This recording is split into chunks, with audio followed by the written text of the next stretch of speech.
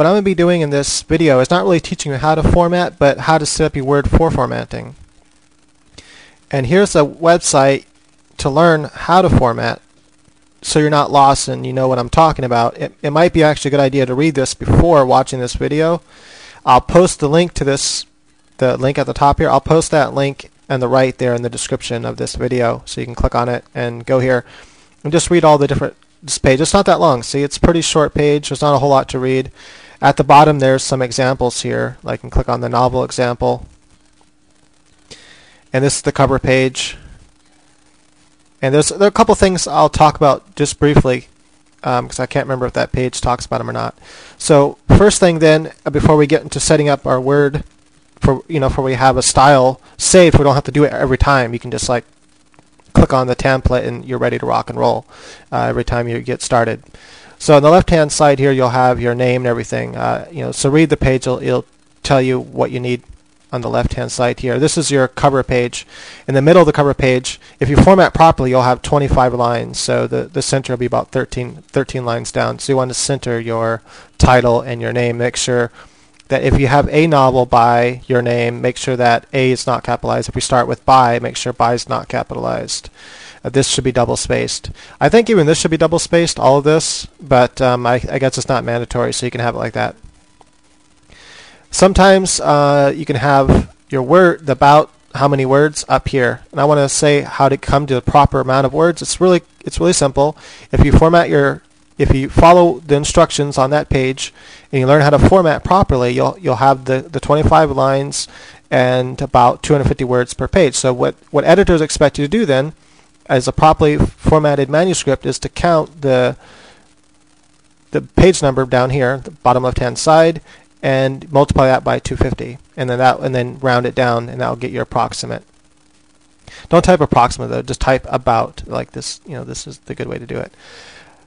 The header won't start until the first page. Now, his first page is like a greeting to someone, but th this would actually be here uh, on your first paragraph, or if you have a prologue, it'll be on your prologue.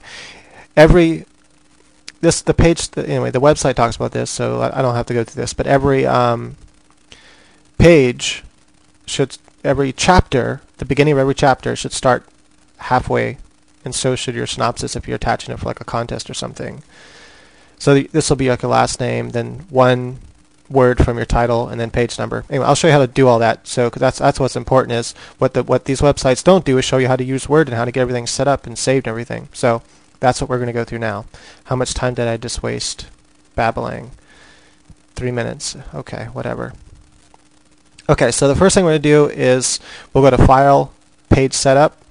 Make sure this is 1111 that page will tell you why. Sometimes it's 1.1, but leave it at this should be your standard right here. Don't worry about gutter or any of that stuff. You're not you're not formatting for printing. That's the typesetter's job. You're formatting for the editor. This is what editors want. So you want to make sure that it's formatted for editors because that's what you want to do. So you don't want to use fancy fonts and all that. Use Career New or Career Dark, which you can download for free, size 12, unless otherwise stated by the publisher unless they say we want Times New Roman. This is the standard. So this is what editors want to read. Okay, so one one one one. Hit default here. Uh, make sure your paper is 8.5 by 11. Um, if you're in the UK and you're publishing in the United States, 8.5 by 11. If you're publishing in the UK, figure out what the standards are. I think it's A4.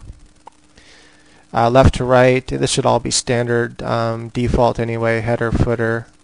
So yeah, Okay, then click uh, default here and click yes. Make sure this is career. I have career new. Um, if you have uh, like um, career dark, you can use that. Did I say career? I meant courier. I think that's how it said. Yes, I don't even have Courier Dark, um, but you can download it for free if you like that one better. But I think you can get Courier New for free as well. Okay, so size 12. Next thing you need to do is go to Tool uh, Format and Paragraph. Make sure that this is set to double, always double space. I think everything else default here is is fine. Go to line and page breaks, uncheck this. If you notice that your um, manuscript is hyphenating words on the right hand side, I think you click here.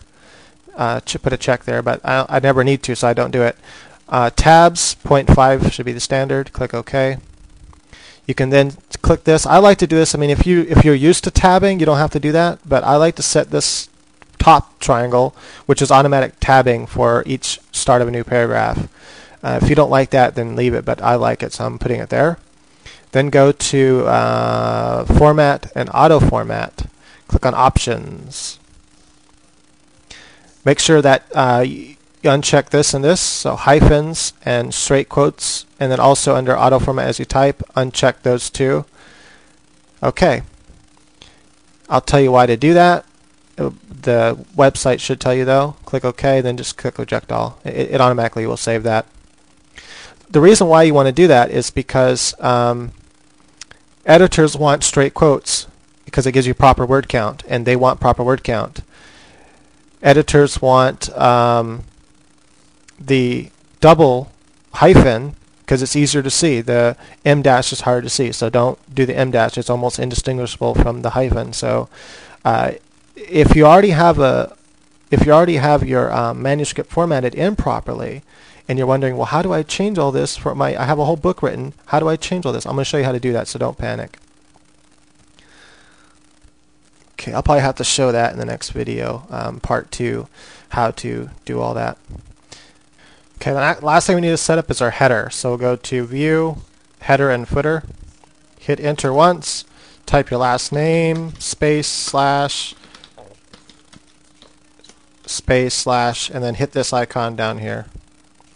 It inserts the page number. Then hit Right Justification, and you can close it. Now what that does is it'll number each page um, in your manuscript 1, 2, 3 as, as each page starts.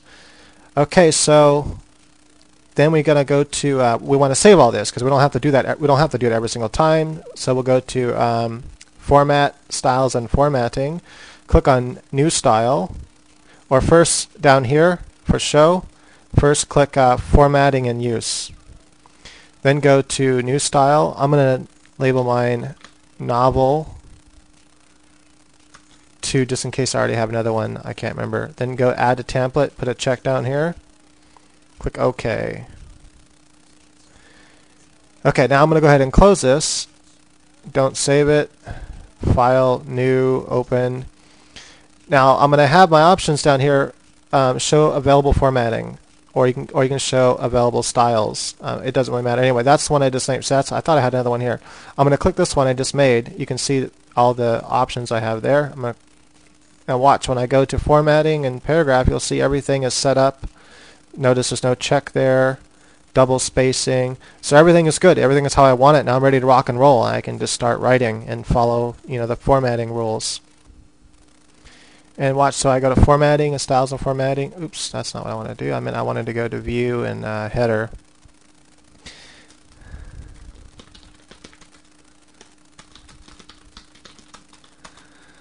And oops, there we go then and you know everything else is all set up. I just start going. But you're like, okay, that's all fine, everything. But what if I have a, a whole novel written or something, or whatever short story, and I need to format it properly? How, how do I get everything to work right? I mean, this this is fine now. Like for example, I type my um, quote marks. Notice they're they're straight up and down. They're not slanted.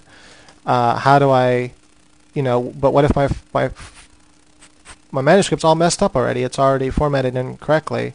How do I make this work for me? We'll show how to do that in the next video, part two. I'm going to take this last minute really quick to talk about contest. If you're entering a contest, that you can't put your name. Most contests, like the uh, Romance of America contest, you can't put your name anywhere on the manuscript. So uh, usually it's just the like young adult bending and then the page number. Um, so there'll be you know whatever category you're entering, historical, let's say it's a historical romance, you type historical, and then you put your, you know, one word of your title and then the page numbers. And the page number begins on where the chapter is, not on the cover page. That is, don't put a, don't put your footer or your header uh, on the cover page. Okay, so let's learn how to fix a manuscript that's already wrong.